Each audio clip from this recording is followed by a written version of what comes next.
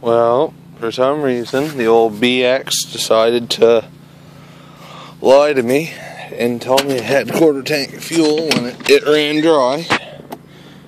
Now, fuel tank's working. So she got ran dry. We're gonna see if we can get her start.